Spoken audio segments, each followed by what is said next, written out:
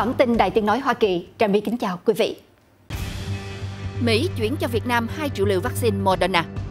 Tổng bí thư Nguyễn Phú Trọng tiếp tục vào danh sách kẻ thù của tự do báo chí. Tổ chức phóng viên không biên giới kêu gọi phóng thích blogger Lê Dũng vô va. Bây giờ là phần tin chi tiết.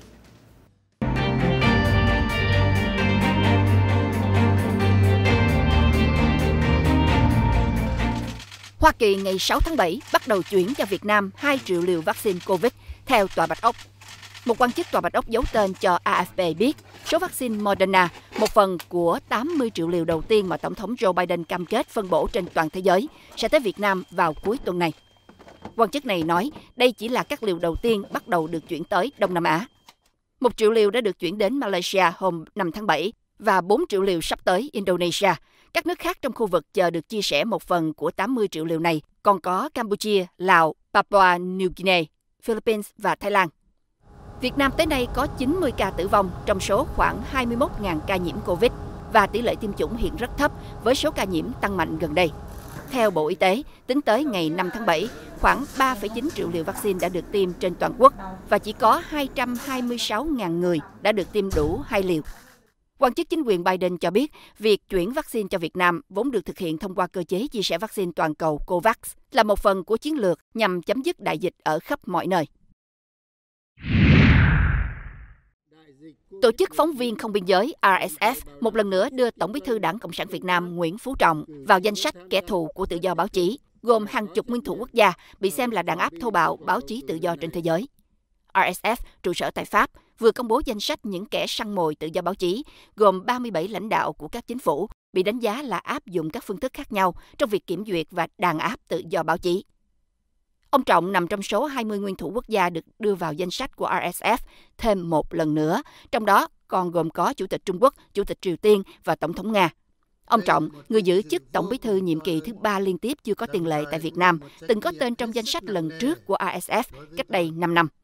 Việt Nam, dù có những cải cách lớn về kinh tế, vẫn bị quốc tế thường xuyên lên án về việc không chấp nhận những ai chỉ trích đảng Cộng sản.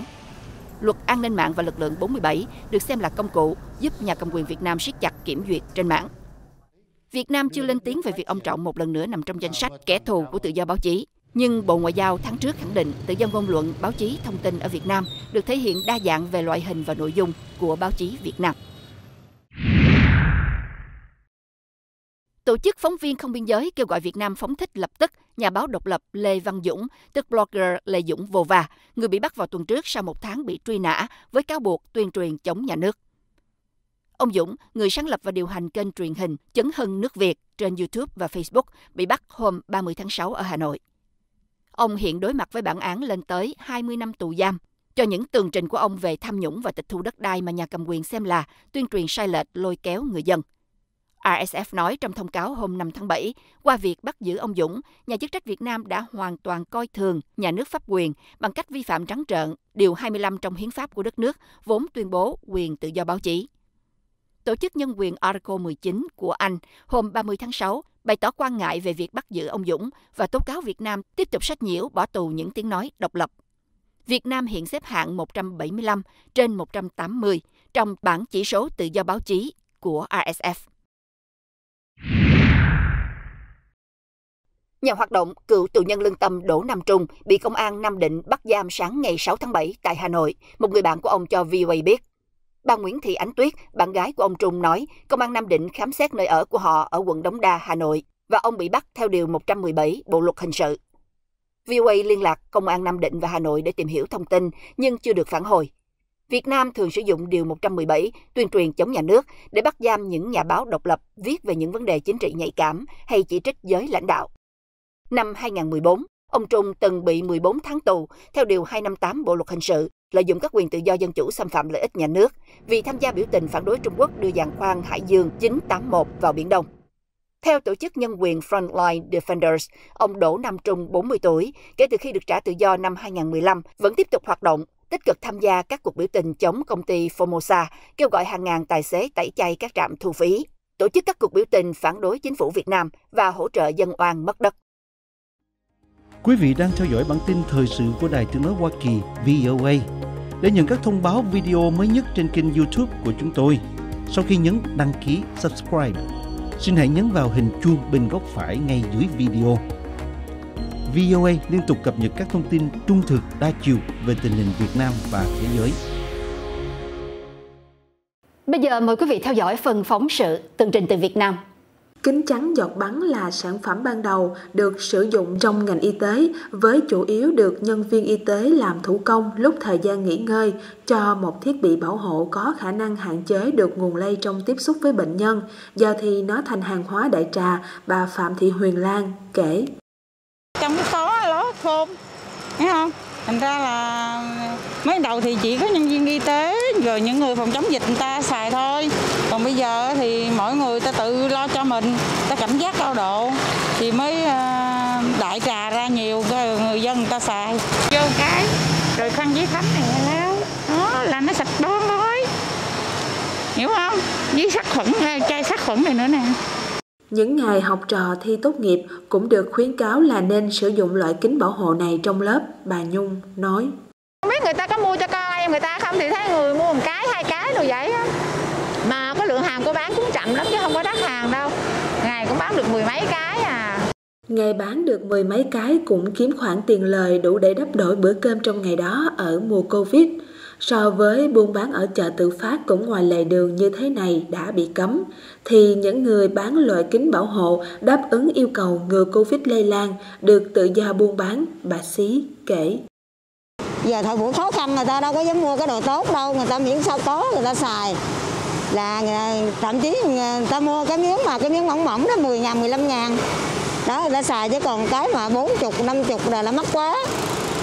Tại vì bây giờ là con thấy không, dịch bệnh bây giờ đâu ai làm được ra tiền khó khăn lúc trước cô bán được mà lúc này cô đâu có bán cái nghề của cô phải ra đường cô ngồi thôi chứ còn thiệt thành ra là bán là người không có ai mua hết đâu có còn ai mà làm ra tiền nữa đâu mà ta mua sắm. Thời buổi khốn khó nên hàng hóa phải rẻ, tốt và phải đẹp nữa thì người dân mới bỏ tiền ra mua, bà Lan cho biết. Từ 20 ờ, ngàn là cái kính loại đó ha, rồi nó tầm khoảng 50, 5 60 ngàn, rồi có loại thì 99 ngàn, có loại ngoại thì nó cũng mắc hơn nhưng cô không bán hàng đó. Phải vừa đẹp nè, mà vừa rẻ nè, rồi vừa phải à, chất lượng tốt nè, đó, rồi rẻ nữa, rồi chất lượng tốt thì dân chợ chịu. Trời ơi, giờ ta khôn lắm, ta đâu có phải như ngày xưa nữa. Bây giờ hả, ta thông minh dữ lắm. Thể cái là có cái mẫu mã mới, mẫu mã mới là ta tiến cái mới liên tục vậy đó vậy mới đáp ứng được nhu cầu của mọi người chứ Xem ra đây là cái nghề phù hợp thời cuộc nên nhà sản xuất ở Sài Gòn chấp nhận đầu tư để vừa đa dạng mẫu mã vừa ổn định chất lượng mà giá cả luôn được điều chỉnh để phù hợp túi tiền ngày một teo tấp hơn của người dân thời dịch giả.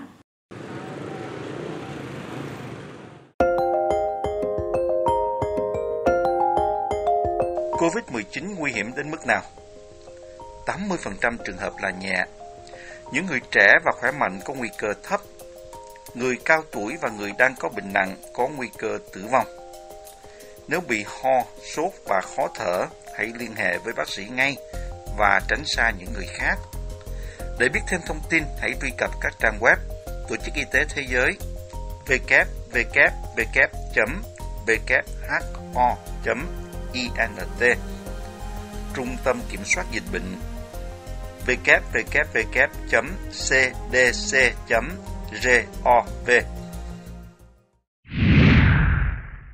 Ngay sau đây là phần tin thế giới. Nhật ngày 6 tháng 7 tuyên bố trong tuần này sẽ chuyển thêm hàng triệu liều vaccine AstraZeneca sang các nước châu Á, tiếp tục công tác viện trợ vaccine cho các nước. Ngoại trưởng Nhật Toshimitsu Motegi cho hay Tokyo sẽ gửi cho Đài Loan khoảng 1,13 triệu liều vaccine nữa vào ngày 8 tháng 7, sau khi đã tặng 1,24 triệu liều hồi tháng trước. Việt Nam, Philippines và Thái Lan, mỗi nước trong tuần này sẽ được Nhật gửi thêm 1 triệu liều vaccine nữa, theo lời Ngoại trưởng Nhật cho biết. Trước đó, Nhật cũng đã hiến tặng vaccine cho Indonesia và Malaysia. Nhật đã thu xếp mua 120 triệu liều vaccine AstraZeneca đa phần được xuất xưởng ở các công ty nội địa. Giới thẩm quyền dược phẩm Nhật hồi tháng 5 chấp thuận cho sử dụng khẩn cấp vaccine của AstraZeneca, nhưng giữa những quan ngại dày dẳng về huyết khối, chiến dịch tiêm chủng tại Nhật nay chủ yếu dựa vào vaccine của Pfizer và Moderna. Chương trình chia sẻ vaccine COVAX kỳ vọng trước cuối năm nay có được 1,9 tỷ liều vaccine COVID, bao gồm 1,5 tỷ liều dành cho các nước nghèo nhất, theo lời giám đốc điều hành của chương trình Aurelia Nguyễn, luận báo ngày 6 tháng 7. Liên minh vaccine Gavi điều hành chương trình COVAX với Tổ chức Y tế Thế giới, hy vọng tăng mạnh khả năng có được vaccine COVID vào quý 4 năm nay. COVAX đã phân phối khoảng 95 triệu liều cho 134 nước kể từ cuối tháng 2 và hiện đa dạng hóa danh mục cũng như đang thương thuyết với các nhà cung cấp mới, vẫn theo lời bà Nguyễn cho hay.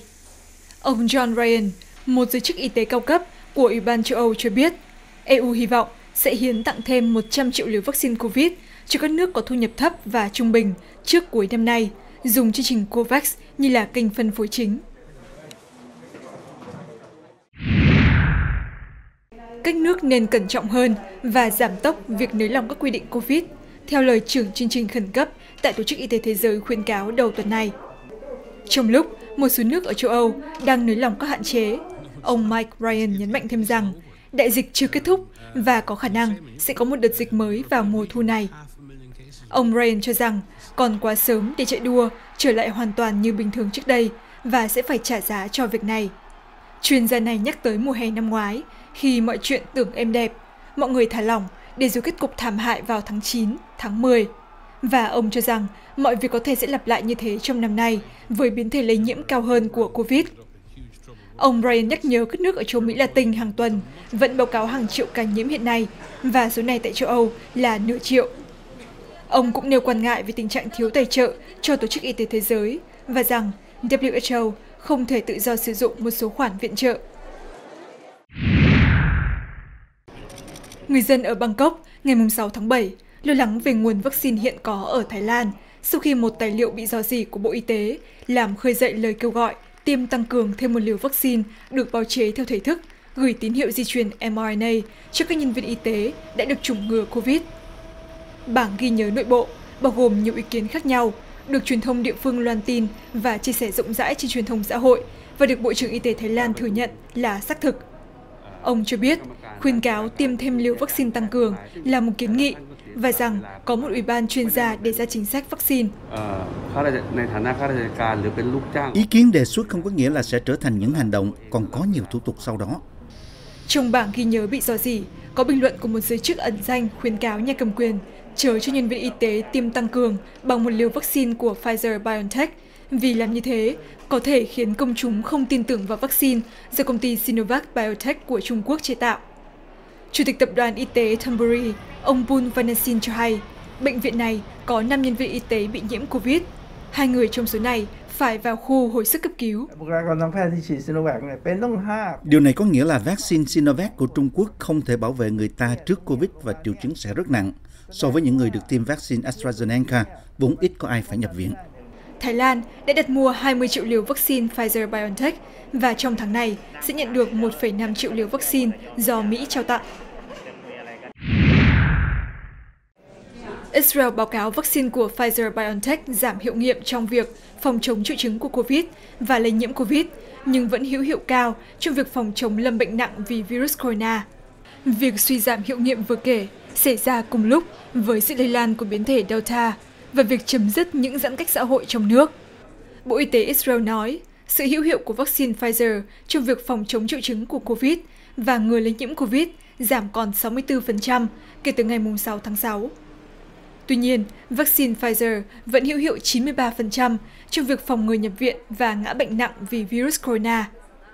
Một phát ngôn viên của Pfizer từ chối bình luận về dữ liệu từ Israel, nhưng trích kết quả của những cuộc nghiên cứu khác cho thấy kháng thể do vaccine tạo ra vẫn có khả năng trung lập hóa mọi biến thể được thử nghiệm. Khoảng 60% dân số trong tổng số 9,3 triệu người của Israel đã được tiêm ít nhất một liều vaccine Pfizer. Số ca nhiễm hàng ngày giảm từ hơn 10.000 ca vào tháng riêng xuống còn một con số trong tháng qua. Tuy nhiên, con số này lại tăng lên kể từ khi biến thể Delta lây lan trong nước.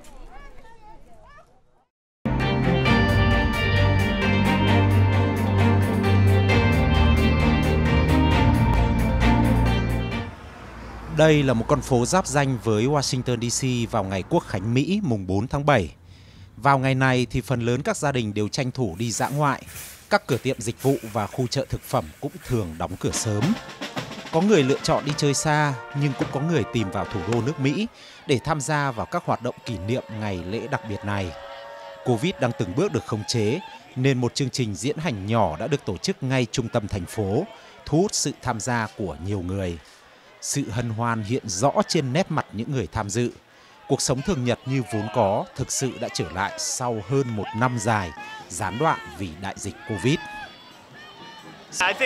Sau hơn một năm đại dịch xảy ra, giờ đây tôi đã trích đầy đủ hai mũi vaccine và rất rất nhiều người ở đây và trên khắp nước Mỹ cũng vậy.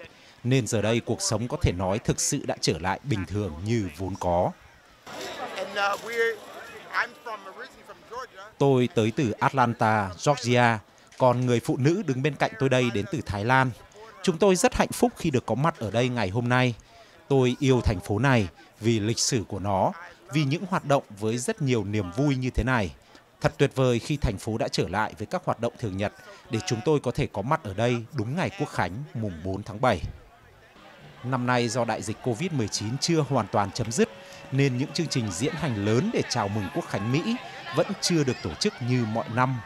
Nhưng với việc hàng chục nghìn người đổ về trung tâm thủ đô Washington DC để tham gia vào các hoạt động chào mừng ngày lễ đặc biệt này trong điều kiện thời tiết mát mẻ hiếm có dịp đầu tháng 7, cho thấy người dân Mỹ đã hoàn toàn yên tâm sau khi vaccine được triển khai rộng rãi ở tất cả các tiểu bang. Nhiều người tin rằng mục tiêu tiêm chủng quốc gia để hoàn toàn chấm dứt cơn đại dịch Covid tại Mỹ sẽ thành công như dự kiến. Chính quyền ông Biden đã đặt ra mục tiêu hoàn thành tiêm chủng cho 70% người trưởng thành tại Mỹ trước ngày Quốc khánh mùng 4 tháng 7.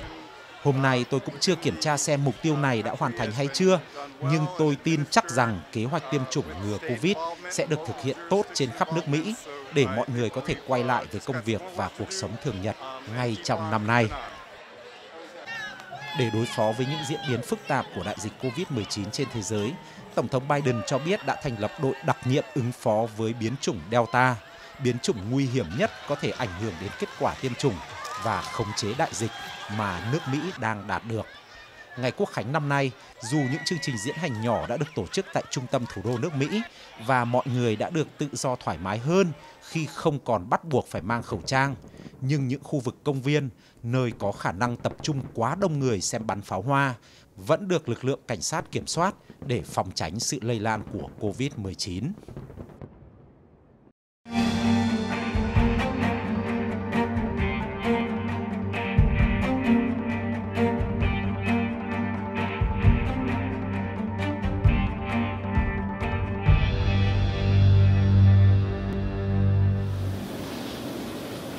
Theo thống kê của Viện Guttmacher, một tổ chức đấu tranh cho quyền kiểm soát sinh đẻ, chỉ riêng khoảng thời gian từ tháng 1 năm nay đã có ít nhất 83 quy định hạn chế phá thai được ban hành tại 16 tiểu bang của Mỹ. Và kết quả là nhu cầu nạo phá thai tại những tiểu bang như Colorado hay tại thành phố Washington DC tăng đột biến. Đây đều là những nơi phụ nữ có thể tiếp cận dịch vụ này một cách dễ dàng hơn. Tại thủ đô của nước Mỹ này, kể từ tháng 3 năm 2020, phòng khám DuPont đã chứng kiến mức tăng 10% số bệnh nhân từ các tiểu bang khác tới. Một nửa trong số họ không có bảo hiểm và không thể chi trả khoản tiền lên tới 12.000 đô la để phá thai. Vì vậy, theo người đồng sáng lập phòng khám Maritas Arias, các tổ chức vô bị lợi đã vào cuộc giúp đỡ.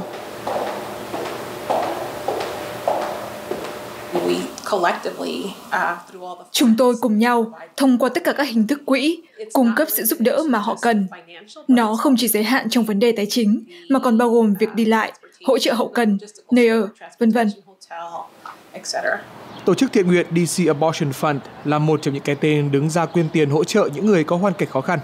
Theo tổ chức này, số lượng đơn đăng ký có chiều hướng gia tăng, phần lớn tới từ những phụ nữ bị mất những công việc trả lương thấp. Trong vòng 5 tháng đầu năm 2021, chúng tôi đã cam kết hỗ trợ 100.000 đô la mỗi tháng. Con số này hơn gấp đôi những gì chúng tôi thường hứa hẹn. Chúng tôi đang làm hết sức có thể, thế nhưng đây là một thực trạng hết sức thiếu tính bền vững. Các tổ chức ủng hộ quyền được sống muốn cấm phá thai, đồng thời đang vận động để chống lại dự luật mà chính quyền Biden có kế hoạch trình lên Quốc hội nhằm xóa bỏ đạo luật Hyde Amendment, vốn ngăn cấm việc sử dụng tiền thuế cho mục đích phá thai. Chính quyền Biden là những kẻ điên cuồng cực đoan nhất trong vấn đề ủng hộ nạo phá thai mà chúng ta từng biết. Chúng ta muốn tất cả mọi người bày tỏ quan điểm với dân biểu của mình trong Quốc hội nhằm tạo áp lực lên họ. Cũng tại chính Quốc hội, những thế lực chống phá thai đang cố gắng vận động chống lại dự luật bảo vệ sức khỏe phụ nữ, vốn có khả năng thu hồi những hạn chế phá thai tại các tiểu bang. Dự luật này sẽ dỡ bỏ những biện pháp bảo vệ sức khỏe, dỡ bỏ những quy định về giấy chấp thuận có hiểu biết, cũng như dỡ bỏ những bảo vệ dành cho việc phá thai giai đoạn muộn. Và gần như tất cả các tiểu bang đều có những loại quy định này. Tuy nhiên, trong số những hạn chế mới vừa được thông qua nhắm vào dịch vụ phá thai, các nhà hoạt động cho quyền phá thai lo ngại nhất về cái gọi là đạo luật nhịp tim của Texas. Đạo luật này cấm phá thai sau khoảng 6 tuần thai kỳ, cho phép những bên không liên quan khởi kiện những cơ sở cung cấp dịch vụ phá thai. Brittany House nạo thai năm 2012 là một tình nguyện viên cho tổ chức ủng hộ quyền phá thai Planned Parenthood. Cô cho biết xã hội cần phải vượt qua những định kiến gắn với việc nạo thai, đặc biệt là đối với những người phụ nữ da đen nghèo khó. Bạn không muốn phụ nữ phá thai, cũng được thôi. Nhưng tại những tiểu bang đang chuẩn bị áp dụng luật chống phá thai, ở đó có chương trình công bình xã hội nào giúp đỡ cho những người phụ nữ quyết định giữ con hay không? Họ có tăng phúc lợi SNAP, tăng tiền hỗ trợ gửi trẻ hay không? Họ có giúp đỡ việc đi lại không? Và họ đang làm những gì để đảm bảo rằng phụ nữ không phá thai? Theo phán quyết Roe vs. Wade của tối cao pháp viện năm 1973, phá thai là hợp pháp. Tuy nhiên, các tiểu bang có thể đi xa tới đâu trong việc hạn chế quyền phá thai đang là một cuộc chiến chính trị và pháp lý nóng hổi. Chúng ta cần mở rộng tấm lòng để hiểu được những lập luận của cả hai phía và hy vọng có thể tìm được tiếng nói chung mà rốt cuộc sẽ mang tới sự hỗ trợ cho sức khỏe của người phụ nữ và gia đình của họ. Hồi tháng 5 vừa qua, tối cao pháp viện đã đồng ý xét xử một vụ kiện đối với đạo luật cấm phá thai sau 15 tuần tuổi của Mississippi. Giờ đây, với đa số thành viên bảo thủ, tối cao pháp viện có thể đặt lại một đạo luật có tuổi đời 48 năm.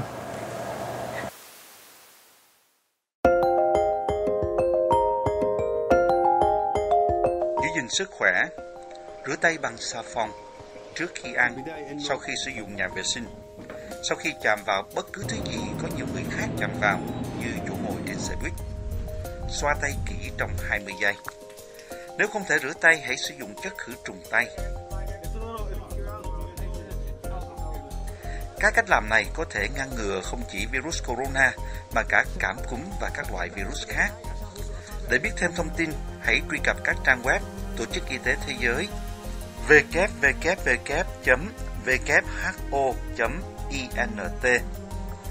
Trung tâm Kiểm soát Dịch bệnh www.cdc.gov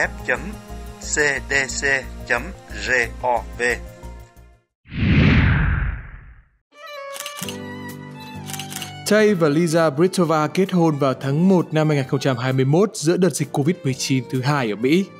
Thay vì một buổi tiệc lớn, họ chỉ mời 10 khách, thực hiện giãn cách xã hội và không có kế hoạch hưởng tuần trắng mật. Họ mơ ước được đi châu Âu hoặc châu Mỹ Latin nhưng quyết định rời lại vì đại dịch.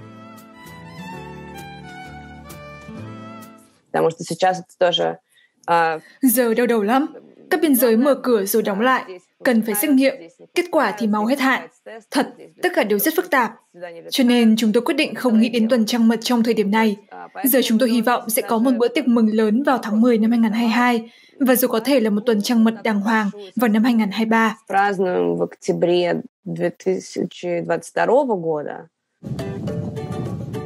Hồi tháng 1, Evgeny và Lena Semenovi kỷ niệm 25 năm ngày cưới. Họ đã lên kế hoạch tổ chức ăn mừng tại một nhà hàng ở Maryland với gia đình và bạn bè, nhưng các cuộc tụ họp lớn bị cấm vì đại dịch, cho nên họ mua vé máy bay giá rẻ đi Puerto Rico.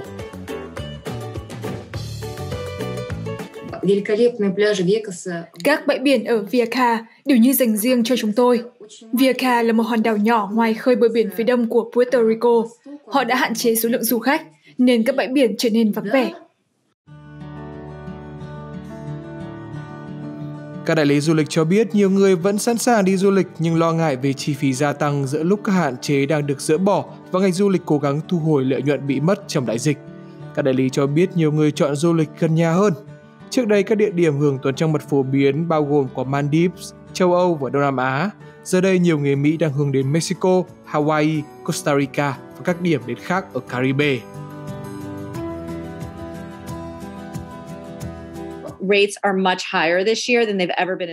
Giá năm nay cao hơn nhiều so với trước đây, cho nên không nhất thiết phải là một deal. Thực sự không có deal du lịch nào ngay bây giờ, ở bất cứ nơi đâu. Cho nên mọi người thấy rằng họ chi tiêu bằng với số tiền mà họ đáng lẽ chỉ cho một tuần trăng mật quy mô lớn hơn. Chỉ là gần hơn, các chuyến bay dễ dàng hơn, không xa như trước.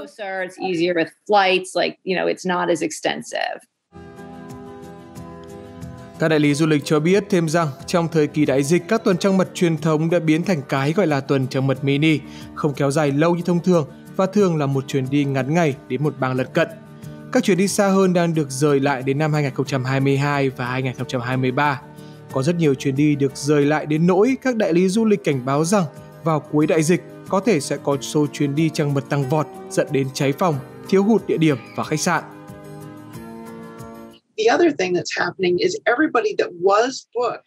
Một điều khác đang xảy ra là tất cả những người đã đặt chỗ cho năm 2020 đều đặt lại cho năm 2021 và 2022. Điều đó có nghĩa là đã có nhiều người đặt hết chỗ, khiến phải rời lại xa hơn nữa.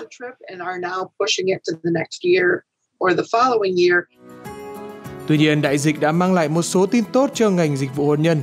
Vì tiệc chiêu đãi nhỏ hơn nhiều nên các cặp đôi chi tiêu ít hơn rất nhiều cho ngày trọng đại của mình. Các đại lý du lịch cho biết họ sử dụng số tiền tiết kiệm được đó cho tuần trăng mật và ăn mừng theo phong cách riêng.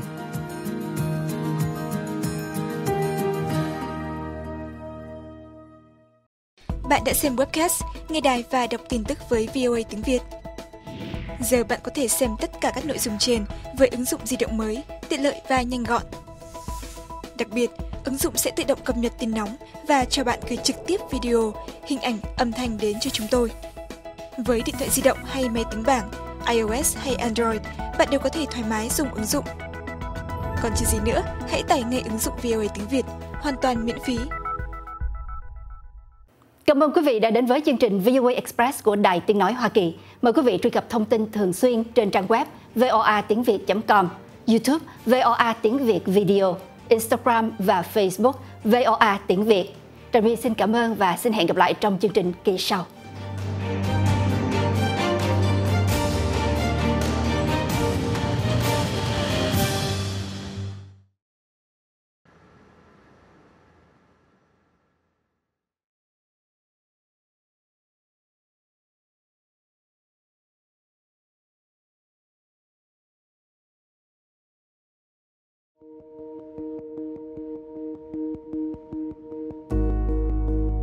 Hoa Kỳ sẽ hiến tặng 500 triệu liều vaccine COVID-19 trong khuôn khổ nỗ lực quốc tế rộng lớn hơn của nhóm các nước G7 cộng.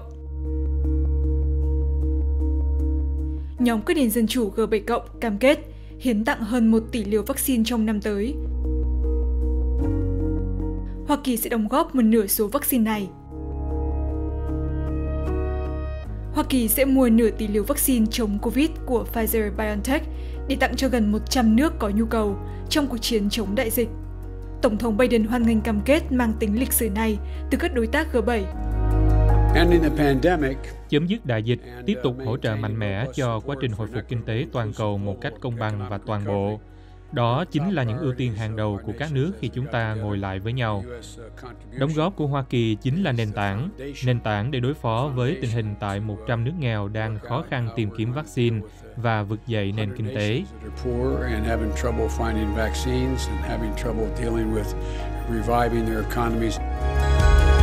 Trước cam kết mới này, Hoa Kỳ đã hứa tặng ít nhất 80 triệu liều vaccine và 2 tỷ đô la cho chương trình COVAX. Tổng thống Biden lưu ý có sự đồng thuận rõ ràng giữa các đối tác G7 rằng những cam kết mới nhất này không phải là dấu chấm hết cho những nỗ lực của họ để đánh bại COVID-19. Chúng tôi đã đồng ý phối hợp cùng nhau để thế giới có sự chuẩn bị tốt hơn nhằm phát hiện và xử lý những đại dịch trong tương lai, bởi chúng sẽ xảy ra.